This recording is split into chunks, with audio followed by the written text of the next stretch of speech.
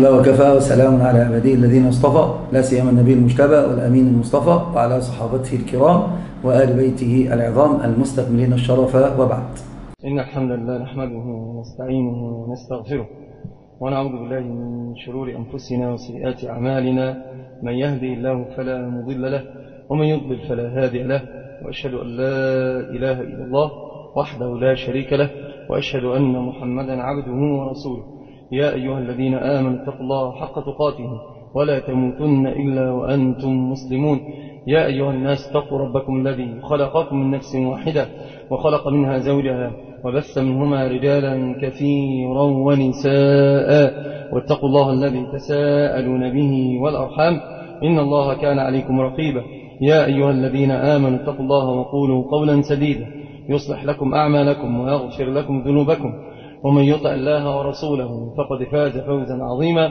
أما بعد فإن أصدق الحديث كتاب الله وأحسن الهدي هدي محمد صلى الله عليه وسلم وشر الأمور محدثتها وكل محدثة بدعة وكل بدعة ضلالة وكل ضلالة في النار. ثم أما بعد إخوة الكرام النبي الصادق نبينا صلى الله عليه وسلم هو أصدق الصادقين. نبينا صلى الله عليه وسلم أكرم خلق الله على الله وأصدق من تكلم وفتح ومن تكلم ونطق بلسانه بأبي هو وأمي وكان هذا بشهادة الشهود من أهل الكفر. العتاة الطغاة حتى بعد ما أعلن الحرب عليهم ما استطاعوا أن يكذبوا رسول الله صلى الله عليه وسلم. والقصة مشهورة في الصحيح قصة هرقل لما أوقف أمامه أبا سفيان وجعل الناس خلفه من معه وقال إن وجدتموه قد كذب فبينوا لي. فخشي على نفسه أن يجرب عليه الكذب. فسأله عن السلام وصدق السلام قال هو فينا صادق. وكان يدعى بينهم إيش؟ الصادق. الأمين فكان صادقا بأبي هو وأمي. وأول الدلالات على صدق نبوته أنه قد أعلنها صراحة أنها من الله. كيف ذلك؟ كيف تكون هذه أول أول الدلالات على صدق نبوته أنه أعلنها صراحة أنها من الله؟ كيف ذلك؟ يمكن سؤالي مش مفهوم. قلنا من دلائل نبوته أنه أحالها على الله. صرح بالباب. أنا سأتي بكل السبل والصفات والسمات التي تبين صدق الرسالة منها أنه أسند الرسالة لله جل في علاه. هذه دلالة واضحة على صدق نبوة النبي صلى الله عليه وسلم. أحسنت. لأنه إذا ادعى الله جل في علاه كذبا كيف يتركه الله جل في علاه؟ ويترك ويترك خلقه لكذاب أفاك أثير فإن سدده الله وفقه الله يسر عليه أمره نشر دينه دلالة على أن ما ادعاه كان إيش؟ صدقا. أما قال الله تعالى ولو تقول علينا بعض الأقاويل لأخذنا منه ثم لقطعنا منه الوتين فإن كان كذبا حتى نوح عليه السلام لما قال لما بين لهم أنهم يكذبونه قال فعلي إجرامي وأنا بريء مما تجرمون فلو كان مجرما كاذبا لما نجاه الله جل وعلا وأصحاب السفينة والنبي صلى الله عليه وسلم في سورة الأحقاف بين لهم أنه ليس ببدع من الرسل وأن الله بينه وبينهم. ولذلك هو ادعى وقال أنا مرسل من قبل ربي وهذه أول الدلالات على صدق نبوة النبي صلى الله عليه وسلم. بل تلا عليهم قل يا أيها الناس إني رسول الله إليكم جميعا. وقد بين الله في كتابه وهو ينقل عن ربي هذا الكلام. إنا أرسلناك شاهدا ومبشرا ونذيرا. وأيضا قال الله تعالى وما أرسلناك إلا رحمة للعالمين. هو يبين أن الله يصفه بأنه رحمة مهداة. للعالمين وهذا الدعاء لو كان ادعاء فيه كذب لكذبه الله جل في علاه فهذه فيها دلالة واضحة جدا على صدق نبوته. وقال الله تعالى ولقد من الله على المؤمنين إذ بعث فيهم رسولا من أنفسهم وقال الله جل في علاه محمد يصفه في الكتاب محمد رسول الله ولو كان هذا من ادعاء النبي صلى الله عليه وسلم ومن كذبه حاشاه بأبي هو وأمي لبين الله ذلك. هو يقول الله يصفني بكلامه الذي تكلم به وأتيته ونزل إلي وحيا وأعطيكم إياه محمد رسول الله. فنعته بأنه رسول محمد رسول الله والذين أمنوا معه إلى آخر الآيات. قال وما كان محمد أبا أحد من رجالكم. ولكن رسول الله وخاتم النبيين. ولذلك بين النبي صلى الله عليه وسلم قال أنه لا نبي بعد وأنه خط أعطيت ستا أو فضلت على الأنبياء بست وذكر أنه لا نبي بعده بأبي هو وأمه. لا ما ادعى أنه نبي من قبل الله فقط لا وادعى أنه خاتم المرسلين. ولذلك هذه فيها دلالة واضحة على صدق نبوته بأبي هو وأمه. وكان النبي صلى الله عليه وسلم إذا بعث إلى الملوك وإلى كسرى وإلى قيصر بسم الله من محمد رسول الله فهو رسول الله فهو يقول محمد رسول الله ويدعي أنه رسول من قبل ربه جل في علاه. فلما سدده الله فلما وفقه الله فلما نشر الله دعوته دل ذلك على أنه بحق مرسل من قبل ربه في علاه. وقد بين الله جل في علاه ولقد بعثنا في كل أمة رسولا أن اعبدوا الله واجتنبوا الطاغوت. هذه فيها دلالة أخرى على صدق نبوته. كأنهم يقول لليهود والنصارى أهل الكتاب لا للمشركين أنتم أهل الكتاب. جربتم موسى وعندكم كتاب موسى وعندكم كتاب عيسى وعندكم كتاب الأنبياء. بما يأمرون؟ أحسن سيجيبون ويقولون بتوحيد الله فيقول وأنا ما أمر إلا بما يأمر به سلفي لأقتدي بهم؟ ولذلك في الحديث الصحيح الذي يدل على صدق نبوته قال الأنبياء إخوة لعلات دينهم واحد ولقد بعثنا في كل أمة رسولا أن اعبدوا الله واجتنبوا الطاغوت دينهم واحد وشرائعهم شتى فهذه أيضا اقتفاء أثر الأنبياء من قبله وعلى دين الأنبياء من قبله يدل دلالة واضحة على صدق نبوته. وأيضا قد أقر الله من فوق سبع سماوات بل, بل إن الله جل في علاه كان يمدح فيه مدحا عظيما ويقول لعمرك إنهم لفي سكرتهم يعمهون. إنهم لا يكذبونك ولكن الظالمين بآيات الله يجحدون يسلي نبيه صلى الله عليه وسلم هذه دلالة واضحة على صدق نبوته. أيضا من الدلالات على صدق نبوة النبي صلى الله عليه وسلم تحمله المشقة وتكبد هذه المشقة من أجل نشر دعوة الله جل في علاه ودين الله جل في علاه. وهذه لا تكون بحق إلا لصادق صاحب يقين راسخ. يعلم أن الله جل وعلا سيعلي كلمته وأن الله جل وعلا سينصره وسينصره ويؤيده تأييدا تاما. ورق بن نوفل قال ليتني بها حيا أو جدعا ليتني فيها جدعا. لما؟ عشان ينصره. لما؟ لليقين الذي جاء بصدق نبوة محمد صلى الله عليه وسلم. ما أحد أتى بما, أتي بما أتيته أو أتيت به إلا عودي. سيخرجونك. ليتني بها جدعا. ليناصر النبي صلى الله عليه وسلم. ومع ذلك النبي صلى الله عليه وسلم قام صابرا محتسبا يا أيها المزمل قم الليل إلا قليلا. لما؟ للذي سيأتي يا أيها المدثر. قم فأنذر.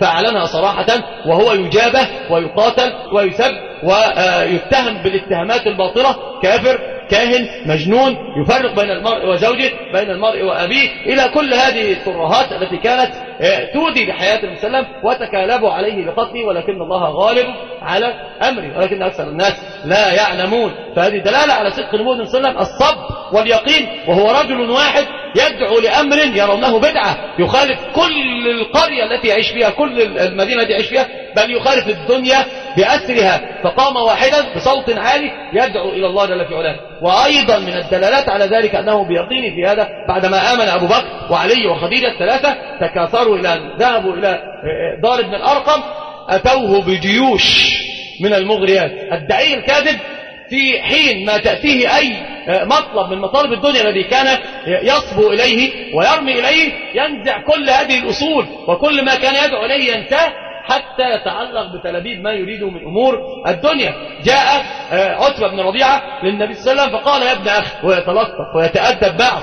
يعني العداوة تنهار أمامه وهو يتمنى أن أن يؤلف قلوبه فيأتيه بتأدب وبتلطف يا ابن أخ لو كان ما بك من مرض بئية يفعل معك هذا بذلنا كل أموالنا وأتينا لك بالأطباء لشفائك. ولو كنت تصبو إلى سيادة سودناك عليه وما نصدر بأمر إلا أن نصدر على رأيك. يعني لا نأتمر بأمر إلا بأمرك أنت.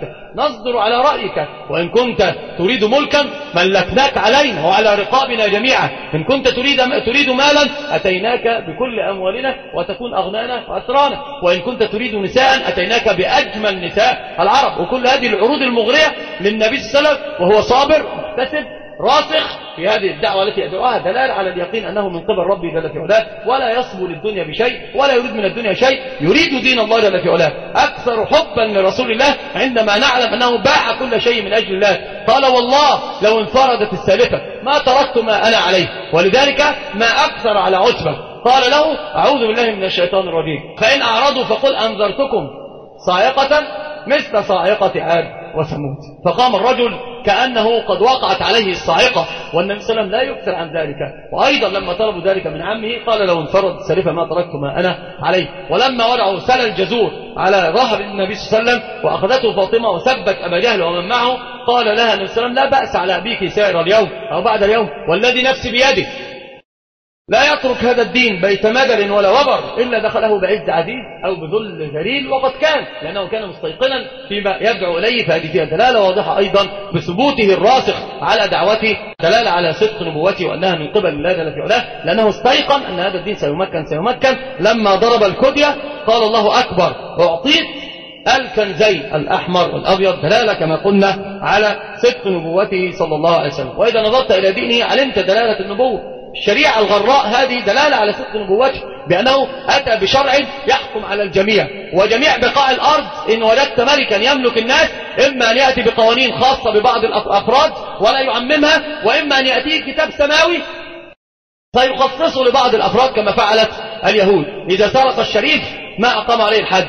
التحميم والجلد وإذا سرق الضعيف قطع يديه. فانظر إلى النبي صلى الله عليه وسلم يؤسسها صراحة ويبين أن المسألة تمشي على رقبتك يعني تكون عليه كما على جميع أفراد الأمة والرعية. يقول النبي صلى الله عليه وسلم والذي نفسي بيده لو كانت فاطمة بنت محمد أو قالوا لو فاطمة بنت محمد سرقت لقطعت يدها تطبيقا للأحكام على نفسه وعلى أولاده كما يطبق هذه الأحكام على الرعية. وهذا الذي أثر في النجاشي عندما سأله بما يدعوكم؟ قال يدعونا إلى كذا وكذا وكذا. قال والله هذا الدين الذي جاء به هذا الرجل هو الدين الذي جاء به عيسى وقد خرج من مشكاة واحدة دلالة واضحة جلية عدل الأحكام وعدم جورها وعدم ظلمها تدل بدلالة واضحة بلسان الحال على صدق نبوة النبي صلى الله عليه وسلم ولا يفعل ذلك إلا نبي معظم من قبل ربه جل في علاه يعظم آه، أمر الله وحكم الله جل آه، في علاه. وأيضا من الدلالات والسمات والصفات التي تدل على صدق نبوءة النبي صلى الله عليه وسلم أو نبوة النبي صلى الله عليه وسلم استمرار هذه الدعوة. واستمرار الدين استمرارية هذه الدعوة إلى يوم الناس هذا والناس يدخلون في دين الله أفواجا من كفار أو فاسق أو فجرة يتوبون يؤبون إلى ربهم جل في علاه. لسان حال كل واحد منهم يقول وعجلت إليك ربي لترضى. استمرار هذه الدعوة تدل على صدقها. أي ملك أي ملك حكم بين الناس بالعدل؟ تراه حسن الذكر بين الناس. وتراه آه، مطاع لأمره ومجاب لدعوته وأيضا تراه يحسنون عليه ويحسنون الثناء عليه لكن بموته ينقطع الذكر وينقطع الثناء وينسى ويطوى في صفحات التاريخ. أما كل ملك أو كل خليفة أو كل ولي حكم بكتاب سماوي فترى حسن الثناء والذكر إلى يوم الممات وهو قد أرم وكان صار رميما في قبره ويحسن الثناء عليه والذكر عليه دلالة على صدق هذه النبوة وأنه ارتباط بسبب وثيق إلى السماء. فإن كان إلى السماء فلا تمور هذه السماء ولا يمكن أن تنقضي هذه السماء والذكر بالسماء إلا إذا أراد الله جل في علاه. فإذا كان الحكم من كتاب سماوي دلالة على نبوة النبي صلى الله عليه وسلم. وهذه الدلالة تدلنا آه، أو نكون بالتدليل عليها دلالة واضحة استمرارية هذا الدين وعدم انقضائه. حتى الضربات والكبوات والكبوات التي نزلت على هذه الأمة والبليات التي جاءت تعصف وتصطك بهذه الأمة ما أضاعت هذا الدين وما أضاعت أهل الدين. ولا امتنع صاحب الدين عن دينه. أرأيت ما حدث من التتار في بغداد؟ إيش اللي حدث؟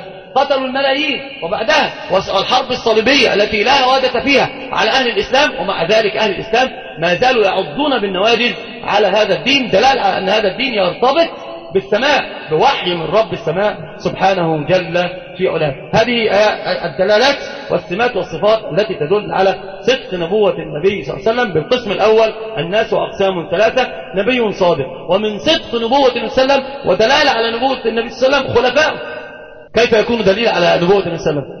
كيف يكون الخلفاء أبو بكر وعمر وعثمان وعلي دلالة على نبوة النبي صلى الله عليه وسلم؟ أحسنت بس قبل الأثر نبين بالنظر ها. جيد. نعم هم ما عملوا إلا بإيش؟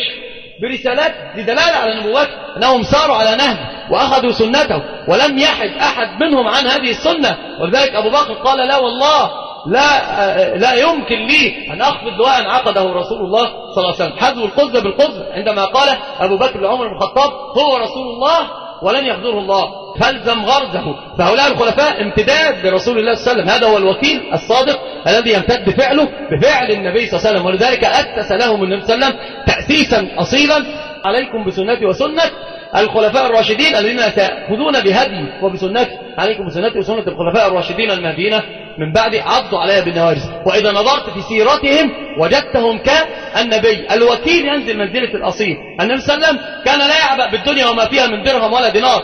نام حتى علم الحصير على على صدري وعلى ظهري. عمر بن الخطاب رضي الله عنه. أبو بكر نفس الأمر. أبو بكر صار فقيرا. حتى أنه ارتدى ثياب الرثة أنفق ماله كله في سبيل الله. حتى جاء جبريل وأبو بكر بجانب وسلم وأمام وسلم فقال له جبريل للنبي وسلم ألقي السلام على أبي بكر. قل له إن ربك يلقي عليك السلام أو يقرئك السلام وإن ربك عنك راد. فهل أنت عن ربك راد؟ فبكى أبو بكر وقال والله إني عن ربي راد والله إني عن ربي راد والله إني عن ربي راد. لم ولت الدنيا خلفهم ظهرية ولما طلقوها ثلاثة صاروا على نهج نبيهم صلى الله عليه وسلم. ولذلك مات أبو بكر وما عنده من ثوب يكفن به ثوبا جديدا سيموت عليه وهو ليس بجديد لكن هو بالنسبة للخلق جديد. فقال لا تكفنوني في هذا الثوب اجعلوه في بيت مال المسلمين وكفنوني في الثوب الإيش؟ الثوب القديم. عمر بن الخطاب يضرب أروع الأمثلة على أن هذا الدين دين قويم يرتبط بالسماء لا بالأشخاص في حال من الأحوال والنبي صلى الله عليه وسلم لأنه ارتبط بالسماء هو الشخص الوحيد الذي نوالي عليه ونعاد عليه. لما قام على المنبر قال أطيعوني ما أطعت الله فيكم أو أطعت رسول الله فيكم ولا تطيعوني في غير ذلك. ثم قام بعدما أعطى الأعطيات الخراج يعني هذا تفصيله في الفقه كان رجلا طوالا عمر بن الخطاب. فلبس ثوبا وصل إلى الكعبين. فقال قام رجل من الصحابة فقال هي قف. وهو يخطب بالناس وأمير المؤمنين. ومن عمر تعرفون من عمر؟ دعني أضرب عنق هذا المنافق علي بن أبي طالب يقول عمر إذا صار أمامنا فإذا التفت وقعت قلوبنا في أرجلنا. عمر كان يركب الخيل يعني ما يحتاج أنه يأخذ السراج برجله يركب خيل. عمر كان سيفه ستة يحملونه ما يستطيع. عمر قام له الرجل قال هي قف. يا أمير المؤمنين إنك رجل طوال. من أين لك هذا الثوب؟ يعني ثوبك لو أخذته مثل ما أخذنا المد بالزراع ما يأتيك إلى الكعبين. كيف ذلك؟ فقام له ما قام قال هذا السفيه الكافر الفجر تسبني وأنا أمام الناس. عليك اللعنة وإليك الموت. لا ما قال ذلك. قال يا عبد الله قم. لمن؟ لابنه عبد الله بن عمر. قال يا عبد الله قم. قام ابن عمر فقال هذا رجل يبين لهم طول ابن عمر وطول عمر. فقال هذا قد فاض من ثوب هذا فأخذته فرقعت به ثوبه ليصل لذلك. يلبس ثوبا مرقعا يسير على نهج النبي صلى الله عليه وسلم يرى أن الدنيا لا تساوي شيئا هي عقيدة راسخة لابد أن نعبد الناس لرب الناس. هذه دلالة واضحة جدا على صدق نبوة النبي صلى الله عليه وسلم. وهذه دلالات كما سنبين من المعاني الإيمانية التي تستنبط من مثل هذه الدلالات. فنبي صادق وأيضا وكيل صادق علي بن أبي طالب وهو يقبض على لحيته ويبكي بكاء شديدا ويقول يا دنيا غري غير طلقتك بتتك بتتك ثلاث وكان يشتاق إلى الأحبة ويفعل فعل. الأحبة فهذه دلالة واضحة جدا على صدق نبوة النبي صلى الله عليه وسلم. لذلك قد ملكوا رقاب العباد وأيدهم الله جل وعلا في مدة وليدة من عمر الزمن. وكل من تمسك بالرعيل الأول وخيط الرعيل الأول وحبل الرعيل الأول له ما كان للرعيل الأول لأن هذا الحبل يمتد إلى السماء. وكل من نزل إلى الأرض فمكانه الأرض. فمن أراد الرقي فلينظر إلى السماء. هذا القسم الثاني الذي يدل على نبوة النبي صلى الله عليه وسلم والقسم الثالث دعي كاذب. والدعي الكاذب يدل على صدق نبوة محمد صلى الله عليه وسلم. كيف؟ لأن الأول قد ادعى أنه نبي مرسل من قبل رب والثالث قد ادعى دعك من البرزخ. الثالث قد ادعى أنه نبي مرسل من قبل الرب فصدق هذا وكذب هذا فتكذيبه للمدعي الثاني دلالة على صدق المدعي الإيش؟ الأول فدعي كاذب كمسلمة وغير مسلمة وصدقا كما قال النبي صلى الله عليه وسلم بأبي هو وأمي ثلاثون كذابون. يدعون كلهم يدعي النبوة. والنبي صلى الله عليه وسلم رأى رؤيا أنه يغلل بأغلال من ذهب أو بغلل بأغلال. قال فضايقني هذا أو كما قال النبي قال فنفختها. فطارت. فأولها على إيش؟ على أن مسلمة أمره سينتهي. سينتهي بأسهل وأيسر ما يكون وقد انتهى بفضل الله على يد خالد الصنديد خالد بن الوليد رضي الله عنه وأرضاه. وقد ظهر كثير من الذين ادعوا النبوة وفتحهم الله جل في علاه. انظر في سير هؤلاء. قبل أن أبين فضيحة هؤلاء أنا أسمع أن بعض السودانيين قام فادعى النبوة من هؤلاء الذين بين وسلم أنهم يدعون النبوة. قام أمام الناس في خطبة في أمريكا وادعى النبوة. فابتلاه الله انظر إلى الفضيحة الكبرى أمام الناس. فابتلاه الله بالإسهال وهو نبي من الأنبياء كما يدعي. فابتلاه الله بالإسهال ما نزل على المنبر إلا ميتا من قطع الإسهال عنه وهو يقتل الناس ابتلي بالإسهال ومن قطع حتى حمل ميتا. بيان فضيحة كبيرة أنه يدعي الله جل في علاه فالأدعياء الله جل وعلا يكذب أمرهم في وقتها أو بلسان حالهم فبلسان حال مسلمة كان يأتي بالمضحكات. المضحكات المبكيات. ينسبها لمن؟ لله جل في علاه. يقول والطاحنات طحنة والخامسات خمسة والكلام لا يقوله شيطان. يستحي الشيطان أن يقوله. وأيضا كان من سيرته ماذا كان يفعل؟